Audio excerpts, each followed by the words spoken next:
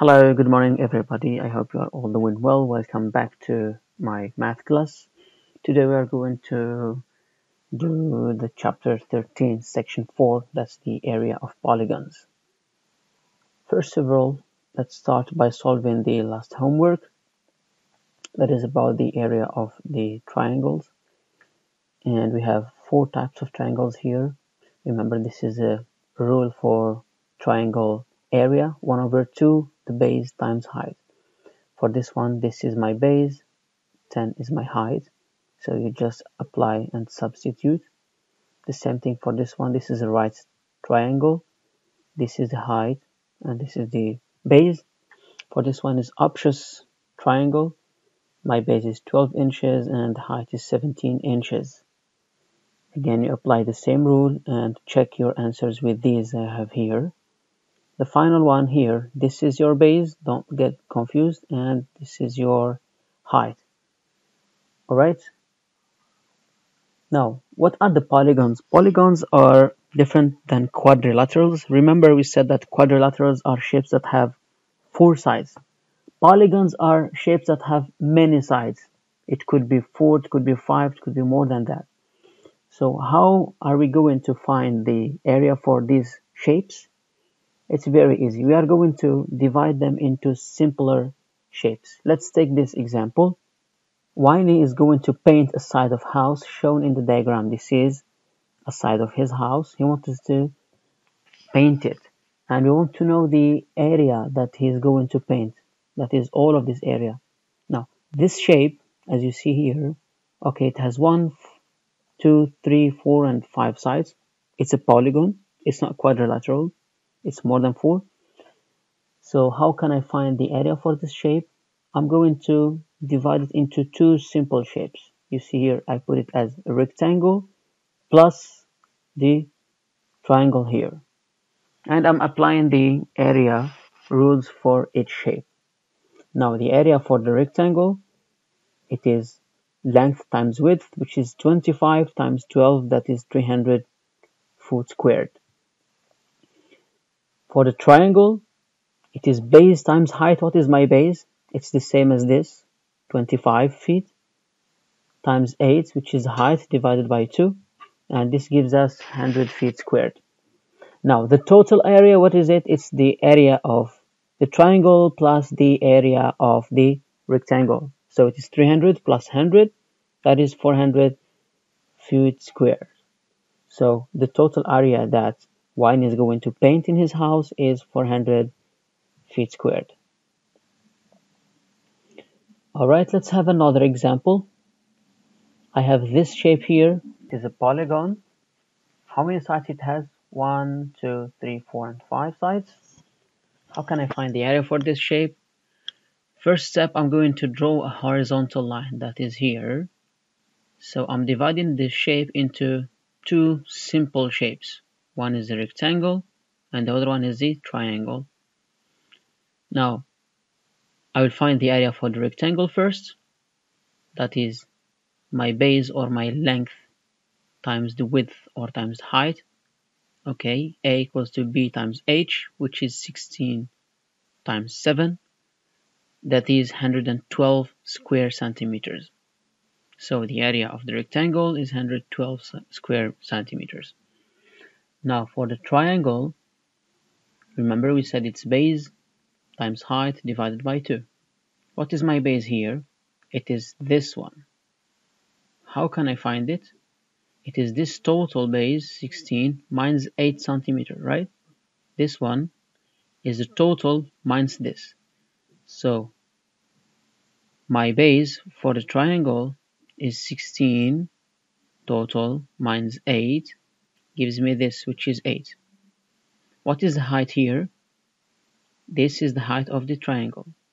What is it? It's this total one minus this length here. So it is 13 minus this one, which is 7. 13 minus 7 is 6. So the height here is 6 and the base here is 8.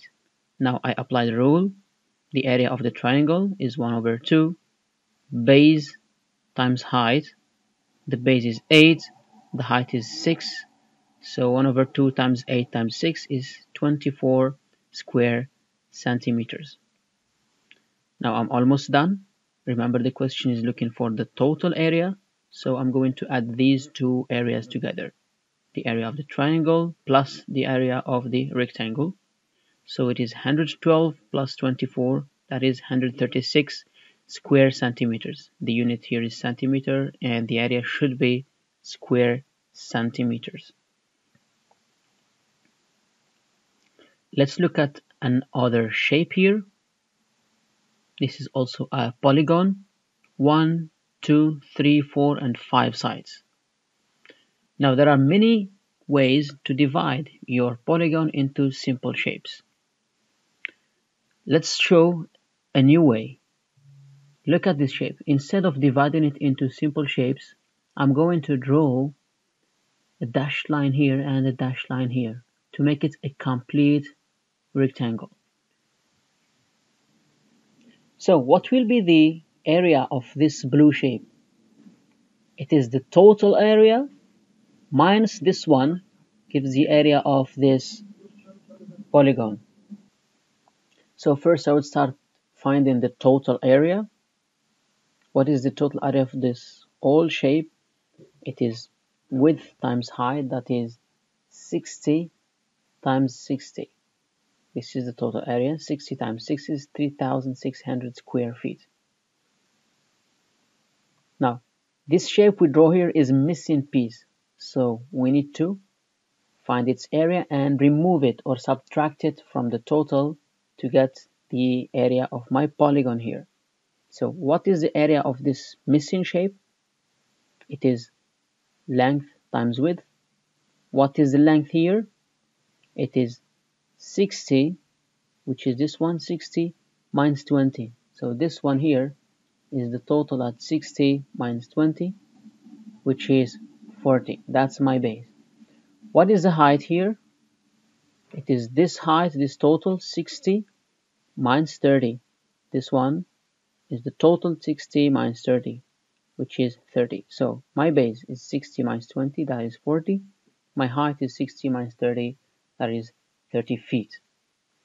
The area then, it is A equal to my base times height or my width times length which is 40 times 30 that is 1200 square feet. Good. The final step is to subtract the total area minus this missing area so it is 3600 minus 1200 that is 2400 square feet. Let's see if we can find the same area by dividing the shape into different shapes. The same shape I'm using here, instead of adding a missing square, I will divide it into two simple squares or two simple rectangles, rectangle 1 and rectangle 2. So I'm dividing it into two I will find the first area. What is the first area? It is width times height. The length of the small rectangle here is 20 feet. L is 20 and my width is this one. What is it? It is the total 60 minus 30. 60 minus 30 that gives us this length that is 30. So length times width 20 times 60 minus 30 that is 20 times 30 and the area for the first square is 600 square feet now for the second shape for the second rectangle what is the width it is 30 the length is 60 so the area will be length times width that is 60 times 30 which is 1800 square feet. Now the total area is the area of the shape 1 plus the area of the shape 2 that is 600 plus 1800 which is 2400 is it the same as the result we got here? Yes it's 2400 so by dividing the same shape into different parts or adding missing parts you are always going to find the same area choose the way that is easier for you Alright, let's move to the last example that I'm going to let as a homework for you. Using the same shape that I've used before, you are going to find the area by dividing your shape into different way. That is by dividing it into trapezoids. So I did it here. I want you to find these areas of these two trapezoids and add them together and check if your answer will be the same as 2400 square feet. Okay, don't forget to upload your answers on the classroom.google.com. I hope you are all going to have the right answer for this. If you have any questions, let me know through the virtual class. Thank you and see you tomorrow.